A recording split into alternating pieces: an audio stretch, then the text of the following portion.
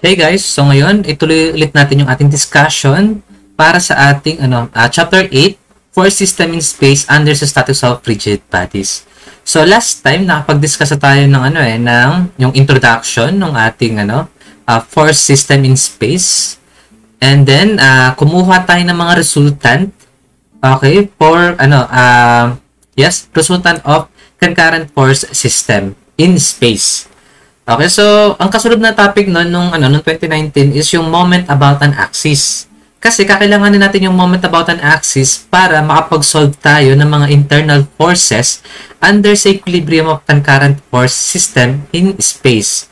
So ngayon, meron rin tayong introduction doon para sa ano equilibrium of, of concurrent force system in space. So ito panibagong introduction para sa topic na to. Kasi ang gagawin natin is gagamit tayo ng um, calculator natin.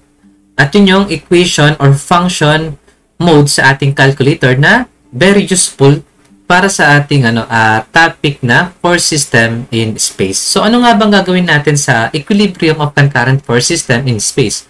So here we will determine all forces or internal forces tend to resist unapplied loads. For example, ito yung mga ano natin, uh, given na ano force system in space. So, itong mga tali na to, okay, or rope, is merong ano, uh, mga internal forces, di ba?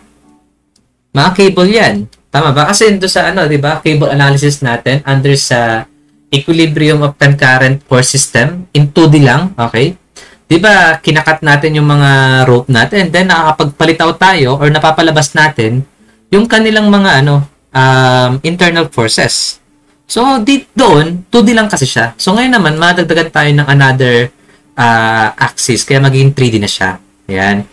So, dun sa ano, sa mga previous problem natin dito sa ano, sa equilibrium equilibrium of concurrent force system in space, uh, ginagamitan natin ang concept ng moment. Pero dito, hindi na. Hindi natin siya gagamitan ng moment. Kasi ang gagawin natin doon, mag-moment tayo sa B, or sa D, or sa C, para lang makapag-solve ng mga unknown forces. Pero dito hindi na. Ang gagawin na lang natin is, kailangan alam natin kung saan yung point na makukonsider natin as concurrent force system. Alam naman natin ang concurrent force system, hindi ba? Kapag sinabi natin concurrent force system, ibig sabihin lahat ng forces ay magmi-meet sa iisang point. So, dapat masigurado natin kung nasaan yung point na yun. And, in this case, yung point or yung common point na yun para sa ating concurrent force system is yung point A. Yan. Okay? So, ngayon, punta tayo sa, ano, sa point A. Yan. So, ito yung ating point A. Then, ito, andito yung, ano, uh, applied load na 900 Newton. So, ngayon, i-assume natin lahat ng mga internal forces natin as tension. Okay, so assume natin ito, tension to. Okay. And this is uh, force BA. Then, ito naman, tension din, force CA. Then, ito naman, tension din, force DA. Ayan. Then, lagyan natin yung axis. So, this is Z, X, and Y. So, ganun pa rin, dapat maging consistent pa rin tayo sa sign convention. Kapag forward, positive. Okay, kapag upward, positive. Kapag to the right, positive. Then, ang gagawin natin, kailangan natin masigurado yung kanilang mga coordinates. Kunwari, sa DA, ang coordinates niya is yung 4, 3. Sa ano naman, sa CA, okay, 4, 3 din, pero nasa ano, nasa X and Y plane. Then, ito namang ano, uh, ah, BA is nasa X-axis lang. So, dapat masigurado natin lahat yun kasi yun yung gagamitin natin. Okay, usually dito, hmm, ano ba yung mga given na problem dito? Ah, okay, so mga pre, uh, given na problem dito is mga ano, uh, slope or mga dimension. So ibig sabihin, kakailangan natin yung ano, um, tawag rito, yung concept na to, di ba? Yung f over d is equivalent to fx over x is equivalent to fy over y And yung ating FC is over Z. Yun yung gagamitin natin. Okay? Then, ang gagawin natin doon, uh, kasi di ba equilibrium, ibig sabihin yung ating resultant is 0.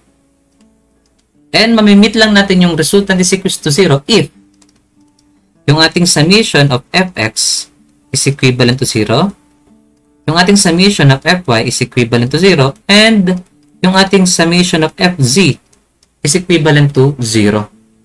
Ayan.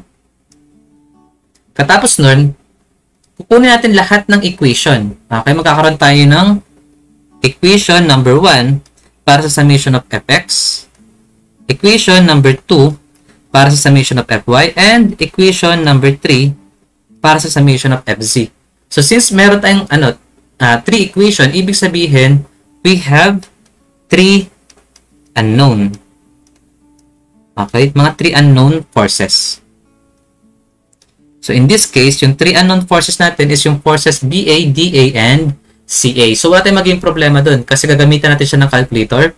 Doon sa ating calculator, yung equation, uh, equation or function mode. Then, kapag pinindot mo itong letter A, mapupunta tayo dito sa ano na to, sa display na to, yung 1 and 2. So, pipili natin yung number 1 para sa mga linear equation. Kasi yung polynomial, may degree na yan. Mga quadratic, okay, mga quadratic, or cubic, okay? Then katapos natin mapindot yung number 1, mapipili tayo ng number of unknowns. So yung calculator, okay ito, yung ano, Casio Class Swiss FX991EX, ang ano niya, number of unknowns na kaya is 4. Okay, so hanggang ano lang tayo? Hanggang 3 unknowns lang tayo. Okay, so Bakit maging problema kasi yung mga problem solving natin dito, ipapakita natin kung paano gamitin ng tama itong ano, itong uh, calculation mode na to. Okay, so ganyan lang din gagawin natin. Okay, iisa-isahin lang natin yan. Kukuha natin lahat ng components nila in terms of x. Okay? Yan. Ah, sorry. Hindi pala x yun. Okay, in terms of x. Ah, walang x yung uh, dA. Then, in terms of y. Yan. And in terms of z. Yan. So, lahat na, kapag napagsama-sama na natin yung mga yan, makakagawa na tayo ng tatlong equation. Tapos yun na. Mabilis na lang yung ano, pag-solve noon. Okay, then, syempre, under equilibrium, kailangan, pa natin, kailangan alam pa rin natin yung rules natin dito, di ba?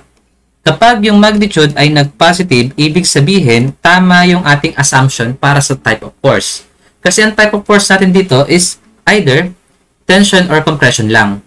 So, since ang ina-assume natin lahat ay tensile, okay, para mas mas mapadalian tayo, okay? Tensile lahat ang ina-assume natin. Kapag nag-positive yan, ibig sabihin tama na tensile yung in-assume natin. Pero once na nag-negative yan, ibig sabihin mali yung ating in-assume na tensile force. And it should be what? Compression force. Okay, so ganun lang kadali yung ating ano, uh, equilibrium of concurrent force system in space.